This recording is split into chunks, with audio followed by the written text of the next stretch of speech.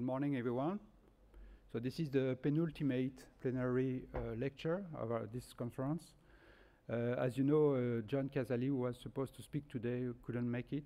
He, he had uh, some trouble at home, so he, he, had to stay there.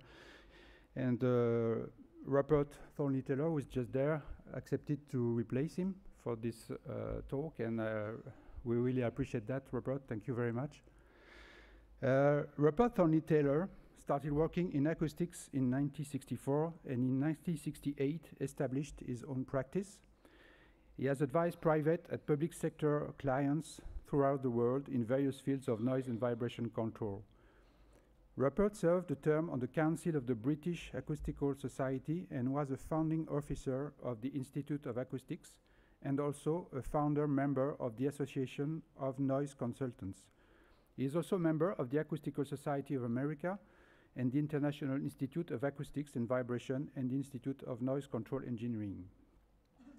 He was for 10 years a member of the Noise Advisory Council, chaired by the Secretary of State for the Environment, and was chairman and deputy chairman of two of its working groups.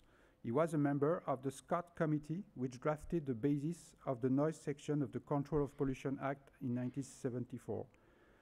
He has carried out wide-ranging noise research projects for Defra and has also served on a number of peer-reviewed working groups.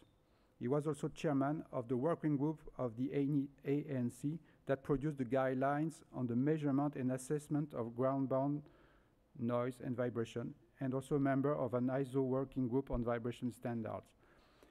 Rupert has worked in all the major areas of acoustics, but is especially well known for his expertise in the field of vibroacoustics of railway structures and tunnels, in which he, a, he is a world leader.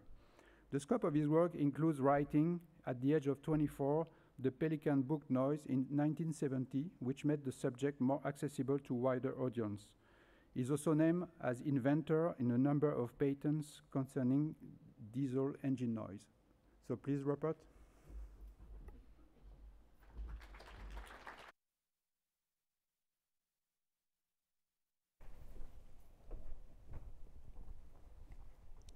Thank you very much indeed for that introduction. Uh, there are, in London alone, over 50,000 people who hear sound which annoys them, may disturb their sleep, and yet it doesn't reach them through the air in the environment around them. Uh, what they hear is sound coming from sources below the ground, mainly from railways, because London is a city with a an underground railway system dating from the century before last, and many lines have no resilient rail support. So I'm going to turn the world upside down in the next hour and look at environmental sound that is generated underground, propagated through the ground, and is received in buildings ultimately to convert itself into airborne sound eventually to be heard by the ears. Uh, and that's the reason for the title of my talk, which is Underground Acoustics. Uh, the essential thing is that in cities like London, where there are so many ground-borne noise problems, they tend to be handled by practitioners in noise who are used to doing acoustics in air and airborne sound and when they start applying their skills to sound generated in a solid, propagated through a solid, and re-radiated into a building, um, they think perhaps it's just like airborne acoustics with a few differences, and they find that it's anything but that. The differences between airborne acoustics and ground-borne acoustics, if I could put it that way, are many. Um, just some of them listed here. Uh, to begin with, the source may be a, a vibrating machine with six degrees of freedom. Uh, there's no unique relationship between uh, amplitude and power. In airborne acoustics, we have the luxury of being able to flip between sound intensity and sound pressure level without worrying too much about the impedance of the medium. That's anything but the case with underground acoustics. Impedances vary largely, and in air, we usually can forget the near field uh, in terms of its effect on propagation of sound. But underground, the near field can be very large indeed. The medium in which the sound is propagated may be linear. Components in the system which is generating the noise, uh, such as resilient rail supports, may be non-linear uh, in terms of their stiffness, both in terms of amplitude and frequency. The way underground sound propagates maybe through 10 or even more different types of wave propagation. Uh, when you get out there to measure it, uh, there are many different ways of measuring it, at least four different uh, properties you may measure. There are a number of different ways in which the waves propagate, so they have different uh, attenuation rates due to geometric spreading and to loss in the medium. There are many more paths between the source and the receiver than there are in the airborne case, and airborne acousticians can more or less talk in terms of source and path and receiver in separate, separate compartments, but in vibration, they're coupled to each other. The source affects the path, the path affects the source, the path affects the receiver, and the receiver affects the path. Uh, I mentioned about the uh, non-constant relationship between uh, physical, physically measurable properties and the power that the waves are, are carrying. Uh, it gets quite difficult, um, power being the time average of the product of force and velocity, but if you just multiply the force and the velocity in the time domain, you end up doubling the frequency. Uh, you can do it in the frequency domain by taking the product of the complex uh, force and the complex conjugate of the velocity, um, but it's far from a straightforward process. Now, I talked about 10 or more different ways in which vibration is, is propagated. Um, the equivalent to sound propagating in air um, the nearest equivalent is the compression wave. Um, they are a little bit hard to find underground. You'll get one if you have a more or less homogeneous isotropic, very deep half space, uh, maybe clay for tens of meters down into the soil, and your source is a little uh, explosion at a small point down in the clay. You'll then get a compression wave and nothing else propagating away. Uh, but usually we're not in that situation, sources are usually not far from the surface or on the surface. Uh, we get a number of other types of waves, some of which are really quite interesting. The, at the surface, there is a head wave, which we'll see in a minute. Uh, obviously, there are shear waves in the two. Uh, well, conventionally, one polarizes them into horizontal and vertical. Um, we, we, hear a lot about the Rayleigh wave, which I'll talk more of on the surface. Uh, its close relation relations, the Lamb and the Love waves. Uh, waves are a bit like Rayleigh waves, but they occur when the interface is between, for example, rock and soil, uh, rather than the case of the Rayleigh wave, which is the interface between an elastic half space and, strictly speaking, a vacuum. Um, if the vacuum is, as it usually is, something like air or water, uh, then you get the Scholte wave, which originates from underwater acoustics, where it is non-trivial to have um, a finite fluid above the elastic half space, and when it's water, um, a Scholte wave is, a, is not the same as a Rayleigh wave. And then we get this interesting thing, the Biot slow wave, um, which Raymond Panneton talked about on Monday, and I'll talk about again. It's a very intriguing consequence of propagation in a porous medium, a fluid-filled elastic uh, carcass, so to speak. Uh, those are the, the waves that you get in uh, an unbounded medium or a half space or a layered space. But in structures, you get yet more wave types. Um, in beams and uh, rods and uh, structures of that kind, you'll get torsional waves. In beams, of course, you get bending waves.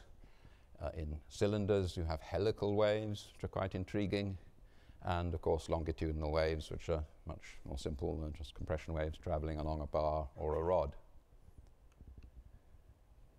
I mentioned that you can describe vibration in many different ways. Uh, we often start with acceleration because accelerometers are, are convenient and straightforward to use. Uh, geophones a little less so because if we're looking at low frequencies, uh, they have their own uh, natural frequencies at, at, some number in the single figures, which will cause uh, amplitude and phase distortion you have to compensate for. Um, displacement is often interesting but not very straightforward to measure. Uh, in some structures you can do it with strain gauges, uh, you can do it with laser interferometers and transducers of that kind.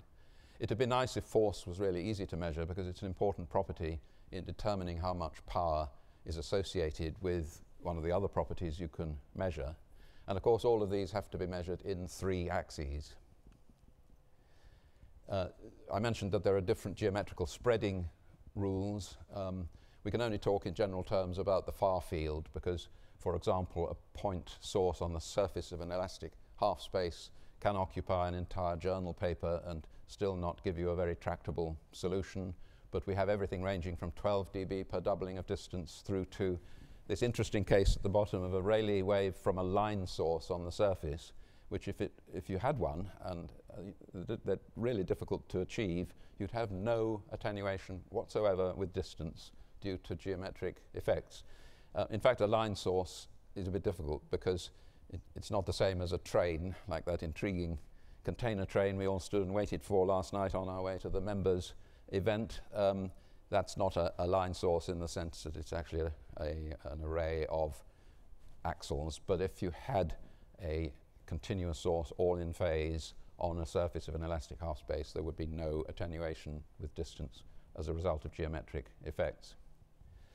Now going back to that business of the impedance of the source being anything other than constant, I was talking about this source of pure compression waves that you could get if you had a very deep uh, isotropic homogeneous medium uh, and you had a little spherical source, like a little explosion down in a deep in a clay soil, for example um, some really curious things happen with regard to its radiation impedance. Um, and they're all dependent on the relationship between the compression modulus of the soil or uh, the medium and the shear modulus expressed through Poisson's ratio. And you do find some really interesting effects. I will have to point them out because the numbers are very small. This is frequency along here, log scale 10, 100, 1000. Uh, this is a dB scale, and zero is there. And when Poisson's, Poisson's ratio, sigma, is below one third, the radiation impedance of this little spherical source in an elastic medium, uh, though it's complex, the uh, reactive part is stiffness-like.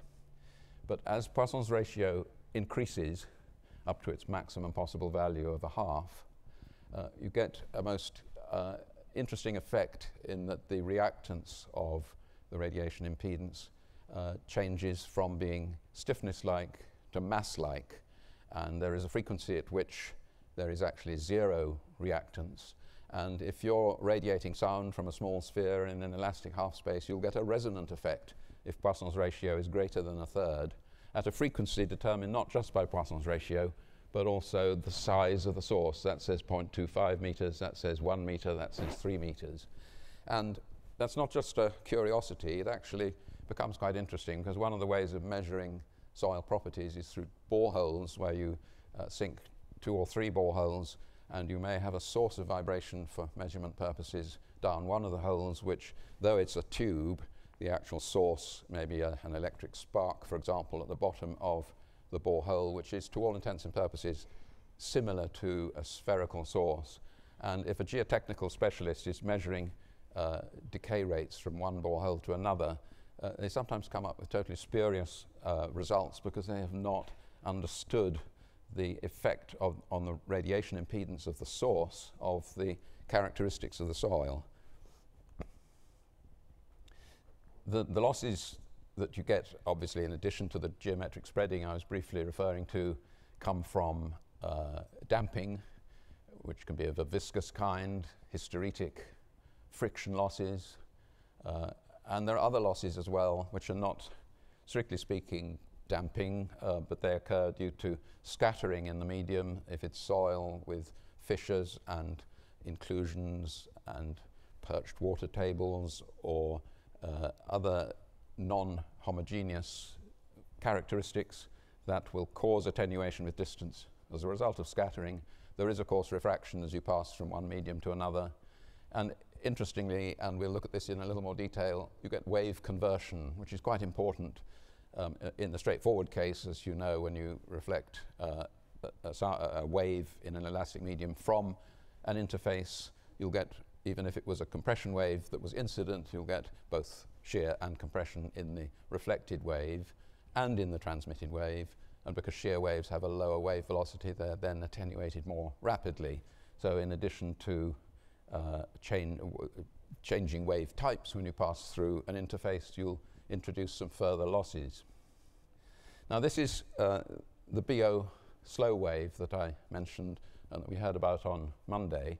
What I'm showing here is a simulation using the finite difference approach, which I'm going to talk more about. And this is distance, and this is amplitude, and it's assuming there is a source exciting a linear medium, which is a porous elastic medium, which is fluid filled, fluid, air, or liquid. And at the, at the source, in addition to the conventional dilatational wave, compression wave, you also generate a thing which Maurice Biot called the dilatational wave of the second kind. And it is a very slow wave, which is the reason why, with a distance scale, it, it, it has such a short, it's not wavelength, but it's, it's because the uh, pro propagation speed is very low, but most interesting, it doesn't propagate. It's very rapidly attenuated. Uh, and so if you have a source in a porous medium, and in practice a great many of the media in which underground vibration sources are generated and propagate are porous to some extent, and they'll either be filled with water or air or a mixture of the two. Uh, but where it becomes more interesting is if uh, the propagating wave is in effectively a non-porous medium to begin with and then meets an interface with a porous medium, uh, a number of things happen. The most, th that's the incident wave, that's the combination of the incident and the reflected wave. The transmitted wave includes the new appearance of a dilatational wave of the second kind, which is this one, again with its very slow wave speed and rapid attenuation. Uh, and that is a further mechanism which results in loss of amplitude with propagation, not due to conventional damping in the sense of hysteretic viscous or the mechanisms I've just shown. Um, and these sort of things are the reason why, if you look analytically at the behavior of a soil, uh, you can't really find justification for giving it a loss factor, and in a minute I'm just going to define what I mean by loss factor, of more than 0.05. But in practice, if you go out there and measure propagation of sound through soil, uh, it will have a loss factor quite a lot bigger than that. And it's these things which are not really true damping, not true loss factors in the sense um, that is defined, that cause that effect.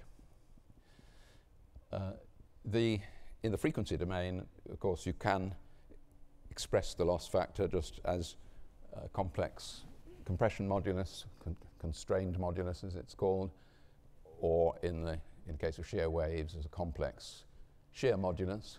It's important to note this subscript max because we are always dealing in the small strain values of compression modulus and the shear modulus, both of which are related to the more widely measured Young's modulus through Poisson's ratio it's quite unusual to find in an ordinary geotechnical report uh, a, prop a, a, proper measurement of the small strain values of these moduli, uh, and the small strain values are always much higher than the ones measured by geotechnical folks. Um, that's okay in the frequency domain, but in the time domain, which I'm going to be talking a bit more about in a minute, which is quite a, an interesting way of studying vibration propagation in more detail, uh, it's not so easy to represent loss, of, uh, damping in that way. Um, what I'm going to show you now are some simulations and some results obtained by finite differencing.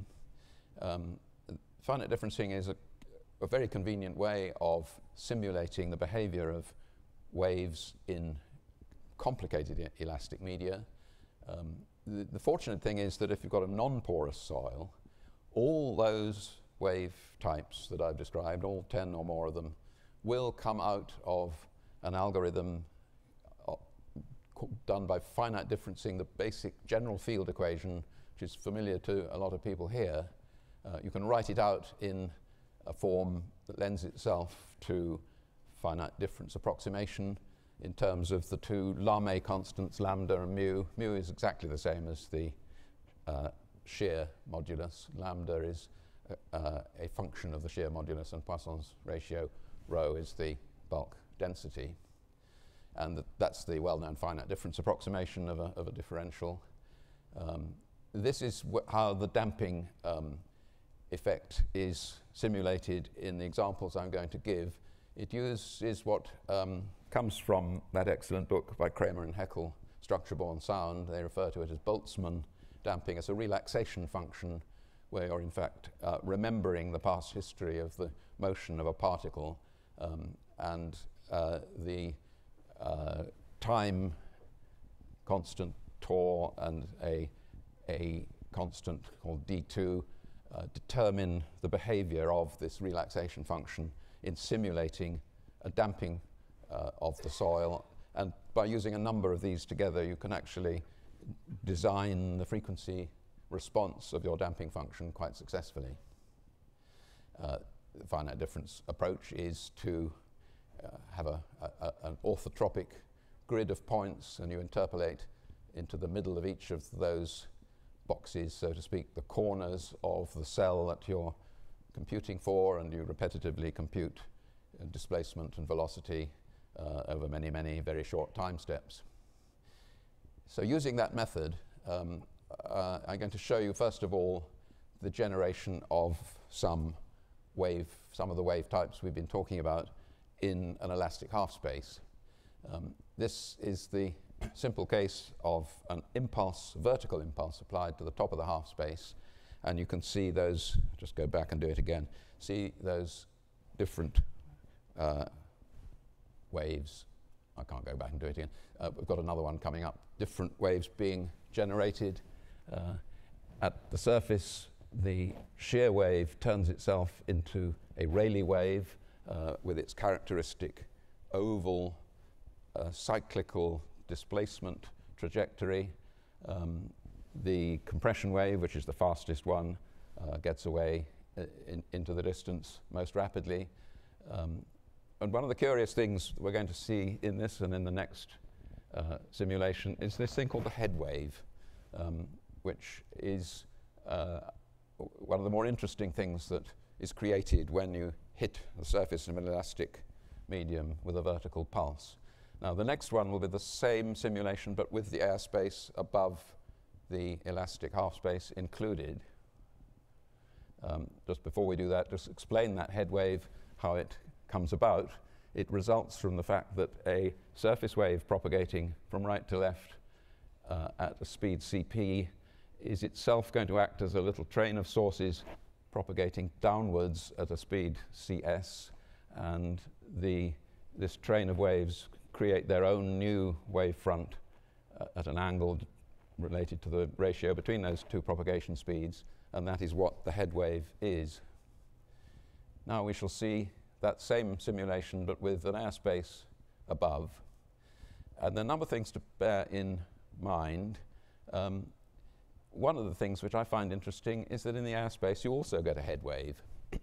um, we tend to think in, in airborne acoustics just of simple propagating compression waves, but if you have the case which does occur of uh, a source impacting the top of the ground, vertical impulse, uh, it's in some circumstances a bystander will hear two sound waves, the ordinary compression wave coming through the air and they'll also hear the head wave, which will travel at the same speed as the Rayleigh wave on the surface. It will only occur if the Rayleigh wave is not less than the speed of sound in air, but that can happen.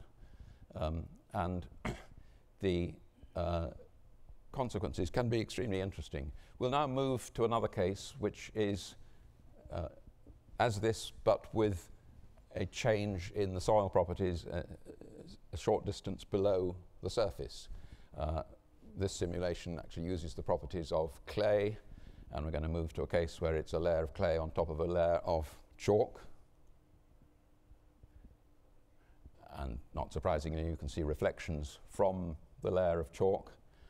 Um, and they're the reason why if you're standing near a construction site and there's pile, percussive pile insertion taking place, you'll quite often feel a bump when the hammer hits the top of the pile, and rapidly afterwards you'll feel another bump when you can't see anything happening, and that's because of a reflection from a, a, a layer, an interface in the ground beneath you.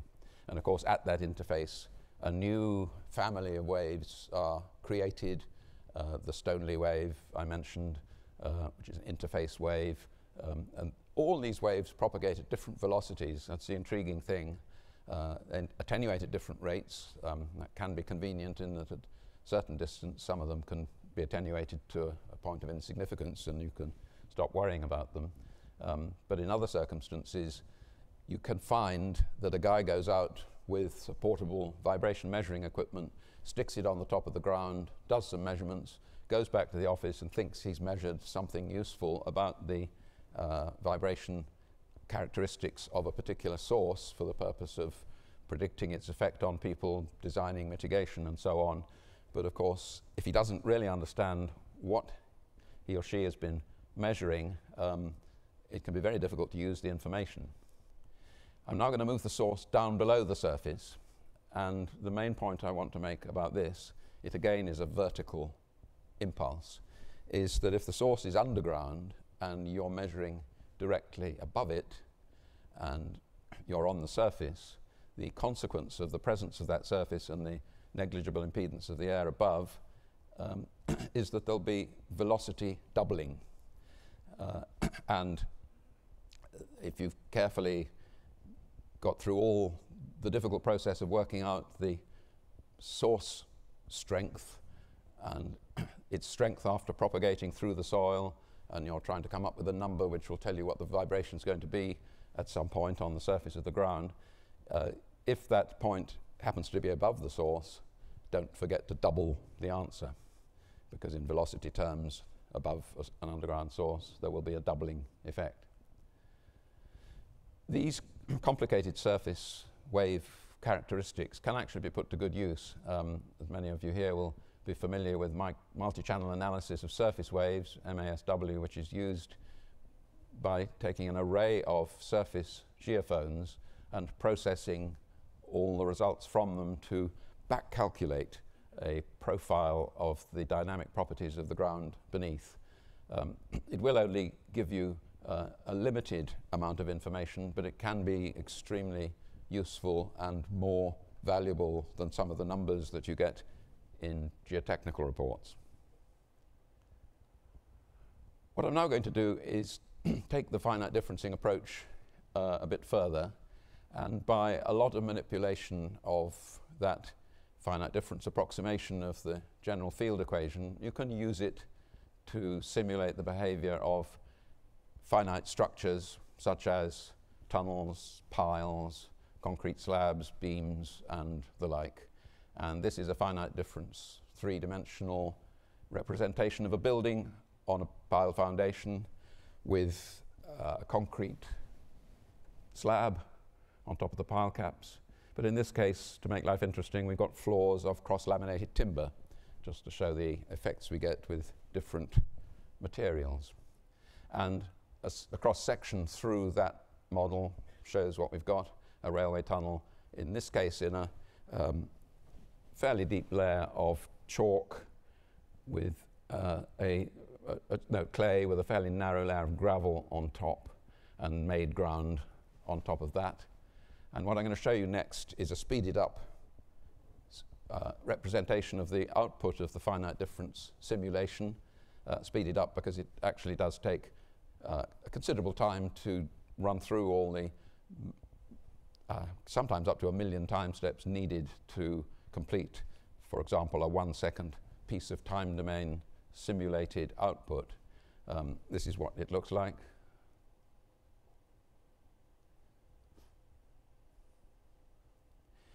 What I'm actually showing there is power flow, um, which is in many ways uh, a, very useful property to know, um, difficult to measure, almost impossible to measure directly, but on the other hand, conveys much more information than a simple uh, physical amplitude such as velocity, which um, is uh, it, it, it, may convey a large amount of energy if the impedance is high, or if the impedance is low, it may not. And if you don't know those properties, um, you've only got half the picture if you've only simulated or measured uh, something such as velocity or acceleration.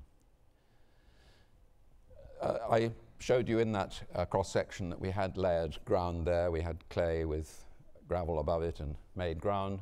Um, and if you run that model twice, once with and once without the layering, um, it just shows you what effect layering has. Um, the big picture is not greatly different, but at specific frequencies, there can be quite large effects. This is a 10 dB interval, uh, and we get as much as 5 dB effect at specific third octave bands uh, when there is layering in the soil. now, the critical thing is to be able to express uh, the, to quantify the difference between the vibration in the soil and the vibration in the building after it's got from the soil into the building, known as the coupling loss factor. Um, it's quite a difficult property to establish uh, for a, a, rectangular source. Um, there, there's no convenient closed form solution. You have to use numerical methods to calculate what will be the response of a massive rectangular receiving structure on the top of an elastic half space. What you can do, though, is use a closed form solution for a disk, a circular uh, receptor, so to speak, uh, and make approximations from that to a rectangular receptor. And this is what you will get from uh, calculating the response of a disk on an elastic half space. And you can see, as we're all quite used to, uh, there is an amplification uh, at quite low frequencies, and then the characteristic fall off in the amplitude of the excited structure relative to the amplitude of the elastic half space itself. Uh, and this is relative to the vibration in the complete absence of the structure. In practice, people who make vibration measurements in the field as part of a prediction process have often no choice but to go and measure next to a building. They don't often have the luxury of having a completely undeveloped, clear space. Um, and what you then measure is uh, different from what you would get if it was a, uh, an undeveloped elastic half space. And that's one of the many complexities involved in, in this process is understanding what you actually measured when you've gone out there to try and get some information to use for the purpose of predicting sound in a building. Uh, the coupling loss factor that we get from that simulation I've just shown you is here, and it's recognizable uh, in that you've got that peak at low frequencies and a, uh, a, a, negative coupling factor um, at higher frequencies, but actually it's nothing like as great as that curve for the disk showed. We've only got around about 5 dB here for this particular building. Larger and more massive buildings will have a larger coupling loss factor.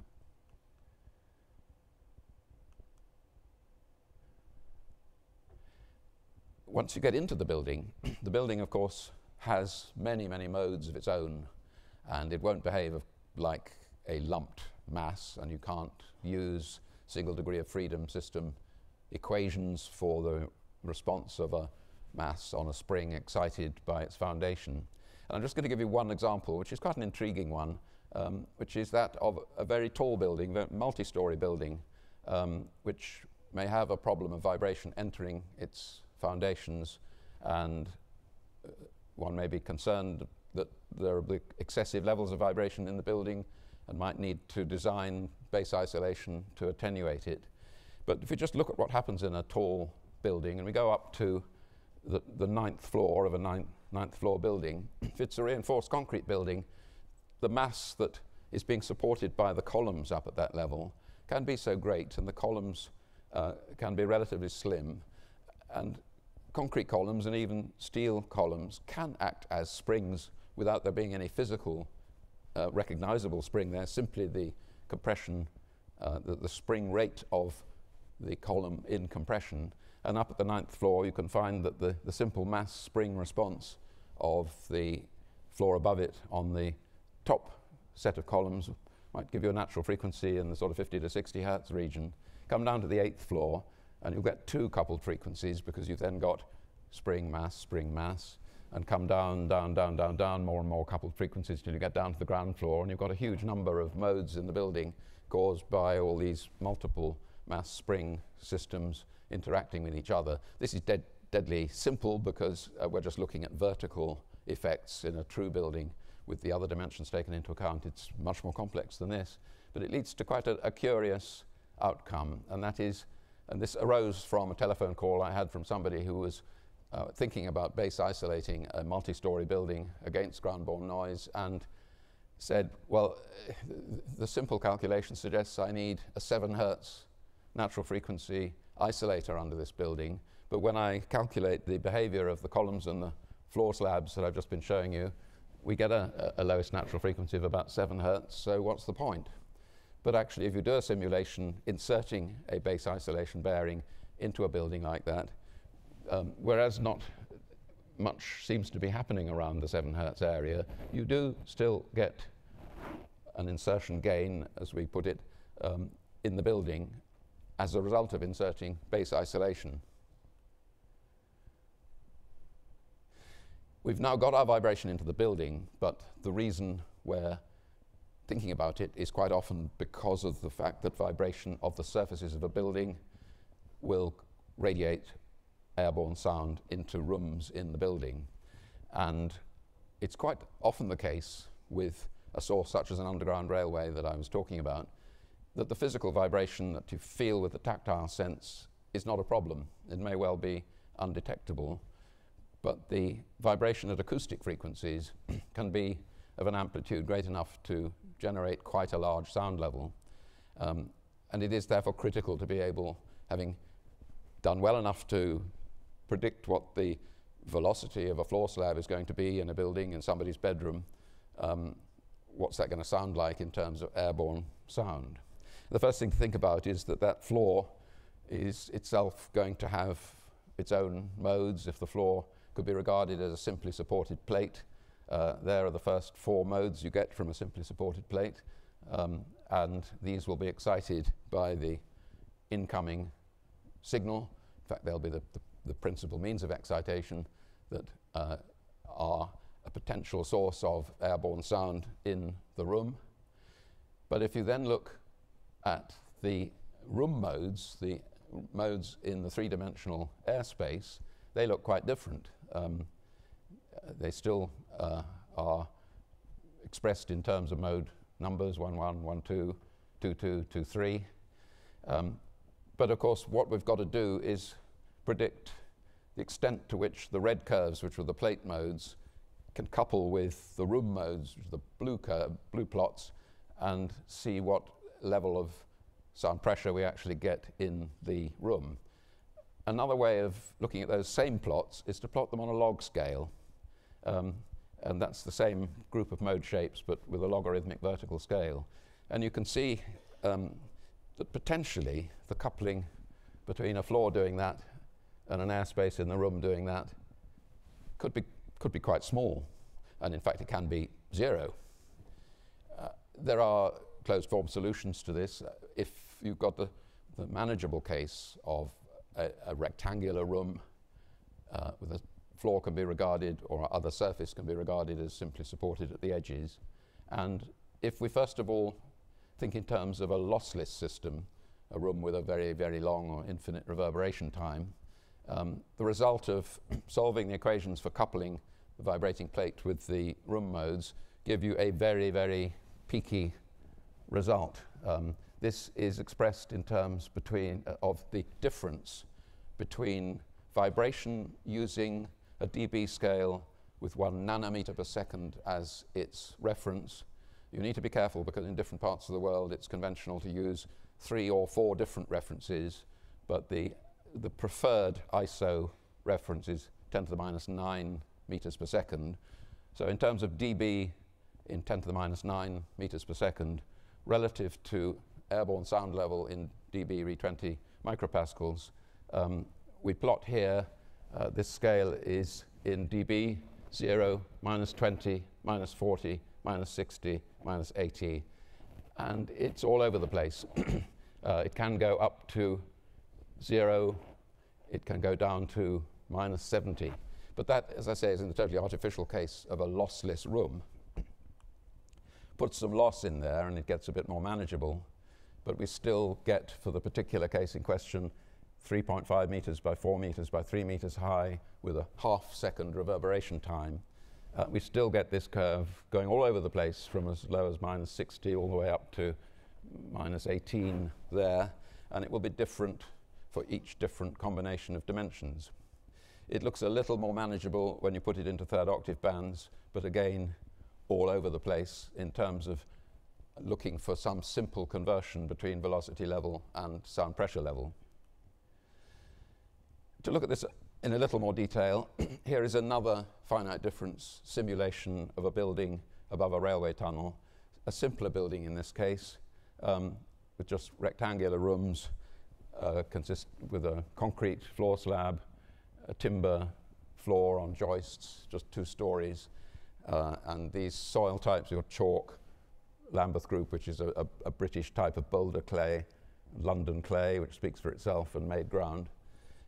And if we run one of those finite difference simulations uh, and look at the output in the rooms in that building, at the ground floor level, uh, in terms of the floor plate vibration, uh, we can see mode 1 1 quite clearly there in each room, and mode 1 1 1 in the first uh, in the ground floor in terms of the sound field in the room. But interestingly, when we move up to the, the floor above, the first floor, uh, we see that what's happening in terms of vibration is mode 1 2 rather than mode 1 1. Um, and a completely different set of coupling factors apply to convert from vibration level to sound level. Uh, in the literature, in the handbooks and other places, you'll find quite a range of pieces of advice on simple ways of converting LV to LP. Uh, a lot of people use a figure of minus 27 dB, uh, LV minus 27 equals LP. Comes from a paper by Kurzweil in JASA back in the 19, early 1980s, maybe even earlier. Um, or in the United States, there is a convenience that if you're measuring in inches per second, uh, you can actually say that relative to the reference used for vibration in inches per second, uh, sound pressure level is numerically equal to velocity level. And if you turn it into SI units, you get a figure of minus 28. And uh, work by the US uh, Transportation Commission suggests perhaps you could use minus 33. And Konstantinos Vogiatzis uh, who unfortunately isn't here this Congress, but um, has presented, contributed papers. He published in Athens a paper suggesting the correction could be anything from 16 to 22.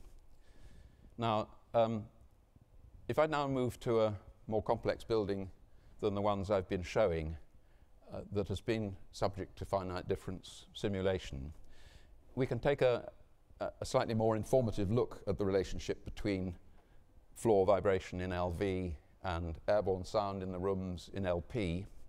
And you can draw some quite interesting conclusions. Um, on the left, we've got a plot of floor plate vibration uh, color coded in such a way that when we move to the right and look at a plot of sound level in the rooms, including their partitions, um, if LV minus 27 did equal LP, that's the Kurzweil approximation that I showed in the previous slide, then the colors would be about the same. In other words, where it's yellow, it would mean LP was LV minus 27. And if you stand back from it, um, you can see that as a big picture, not too bad an approximation. And certainly in the UK, a lot of practitioners do use LP equals LV minus 27 and come out with answers which, which get them by. Um, but when you start looking at specific locations, uh, because you have to deal with specific locations, if you're doing measurements, you go into a room, you can't measure the vibration over the entire floor surface. Be lucky if you can measure it in several locations because quite often the source is the passage of an underground train, doesn't last very long, and you don't have the opportunity to move around. And if you do move to other locations, you'll be measuring a different train. So you quite often are looking at something very similar to a single point result. Um, and if you go uh, through specific points on those previous plots, and you look at Vmax minus 27 and SPL uh, in terms of maximum locations and minimum locations, and you stand back with this minus 27 approximation, it doesn't look too bad, although at specific third octave bands, there can be differences, quite hefty differences, sort of 8 dB or something like that. Um, but if you, instead of looking at the ground floor, look at the first floor, which, as I mentioned earlier, in this particular simulation has cross-laminated timber as its um, structure, uh, the differences can be very large and you can diverge substantially from a, uh, one of those single figure approximations.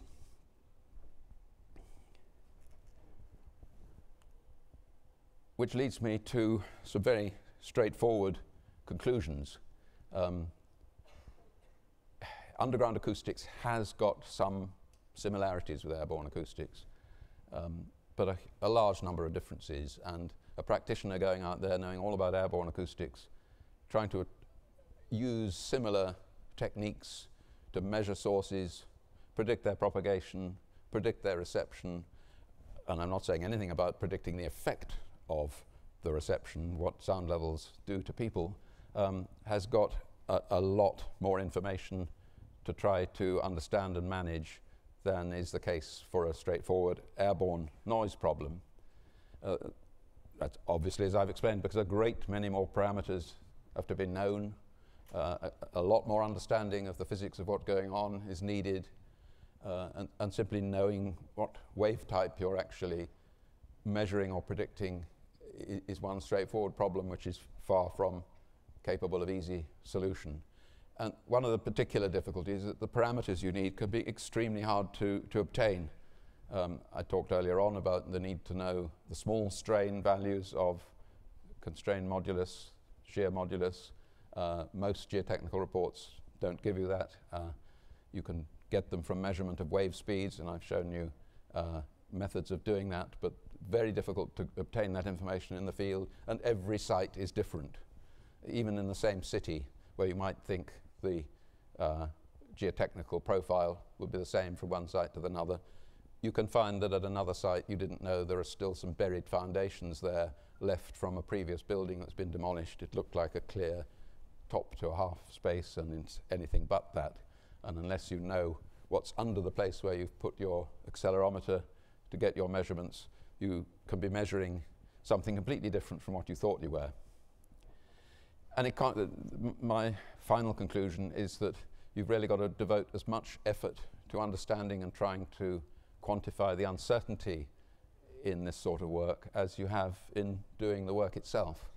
Um, and that is, a, a that is another discipline in itself, is how to manage risk and how to decide what to advise the constructor of a building to do, whether to put it on springs or rubber bearings because of a need to attenuate ground-borne noise, what the properties of those springs should be, and the answer to that question can make a difference of hundreds of thousands of dollars, millions in some cases, um, responsibility for which all falls on people like the folks in this room. So I've left a little bit of time for questions, if anybody has any.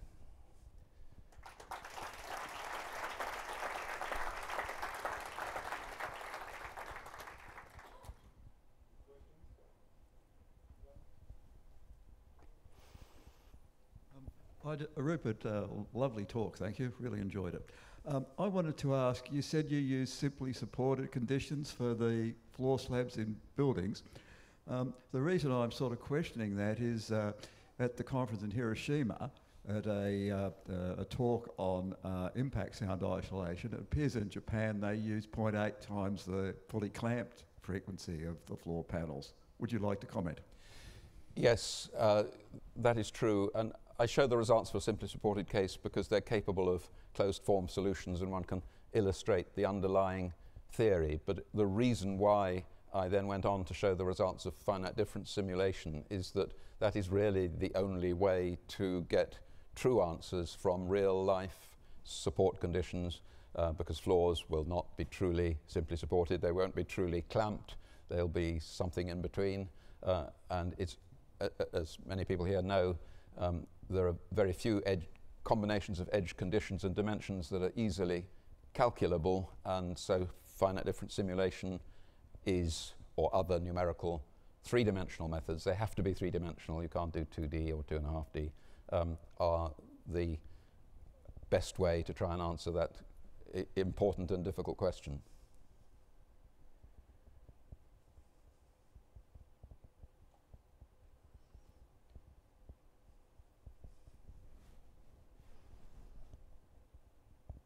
Years, years ago, I was a little bit involved with a car crushing machine, and some houses some distance away were complaining about cracks in the houses. And another was uh, coal mining where there were explosions and uh, same sort of thing.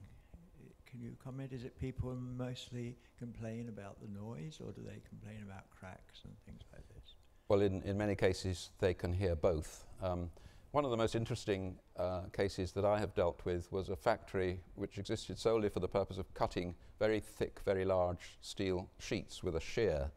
And as it cut through the sheet, there was a huge impulse that both set the factory building vibrating to make the roof an airborne radiator, but it also went through the sound and appeared in the building as uh, ground-borne noise, and the two together could be heard uh, both by the ears in both cases, but the ear receiving the signal through different paths. Um, but one of the most interesting consequences of that is that when you have an impulse as the source, unlike the more common railway type source, an impulse, of course, contains, being something approximating a Dirac function, contains a very broad band uh, content, and the receiving building, what, uh, wherever its modes are, will respond well uh, at, at any frequency you choose. So if in this particular case we looked at possibly trying to deal with the pulse from this press by putting the building on springs, but of course, wherever you put the natural frequency of the springs, that just means that's where the building will respond. So uh, mitigating the effect of a source of that kind at the receiver is extremely difficult. And in the end, we just went for a huge amount of concrete in the foundation rather than any attempt at vibration isolation. But Malcolm, you're absolutely right. Other kinds of source than the ones I've been focusing on today do introduce their own particular difficulties and problems.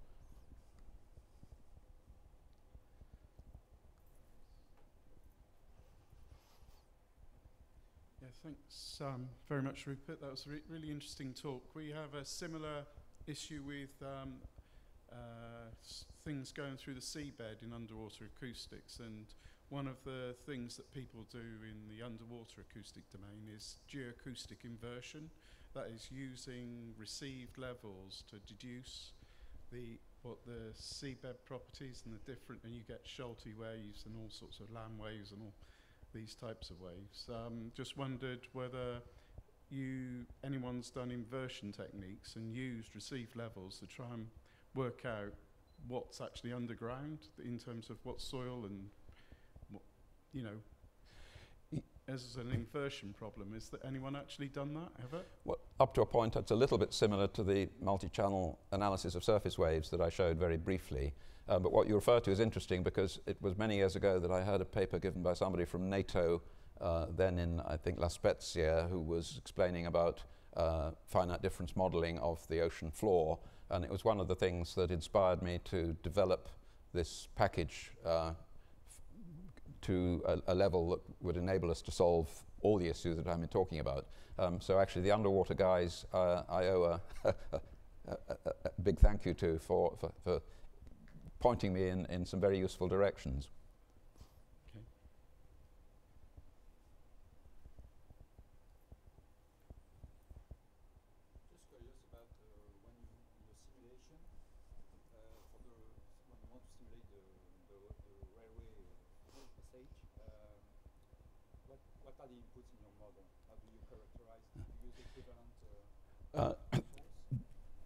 In this talk, I haven't uh, devoted any time to the source, but in the finite difference model is a representation of the train in terms of the mass of the body, the springs that are the primary suspension, the mass of the bogie, the masses of the primary suspensions and the axles and the wheels, and the rails are in and they come out as full Timoshenko beams because of the consequence of the finite differencing. And in, if there is resilient rail support, that's also in the model. So the, the actual primary input to a simulation of the kind that I was showing today um, is the wheel rail roughness profile because that is the main source of excitation of vibration of an underground railway. And if we had another spare hour, I could do another presentation about that end of the model um, because, uh, as many of us here know, we've had complete sessions devoted to almost nothing but the interface between the wheel and the rail as a source of vibration. But the beauty of finite differencing is once you crack the difficulty of using the general field equation for really complicated shapes uh, and using the creation of an orthotropic uh, grid of little shoebox shaped shell uh, cells. Um, if, you, if you get over the coding difficulty of coping with moving from a piece of concrete to a piece of air, you can simulate anything within the limits of the inherent error in finite differencing, which mainly limits your bandwidth. Um, we use such short time steps. Some of the errors of finite differencing, in fact, become trivial, but uh, the biggest issue is that if you wanted to do uh, the effect of an underground source on a concert hall and you wanted to simulate the sound in the air right up to several kilohertz, you would need such small cell sizes and such short time steps, then until uh, we're able to get much faster processing, I'm working on it by trying to use graphics processing units instead of CPUs with huge multi-threading capabilities. Uh, in 10 years' time, if I'm still alive, I may be able to talk to you about extending this simulation up to several kilohertz in a concert hall, but at the moment we can't do that.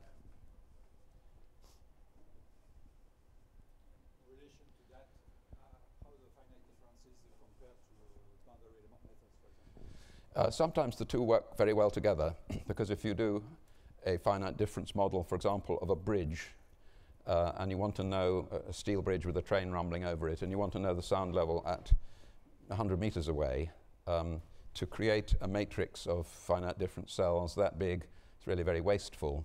But the method lends itself extremely well to taking the output of the surfaces of the structure of the bridge and using a boundary element method to uh, calculate the consequence of all those cells vibrating at a selection of receptors. So the two methods go very well together.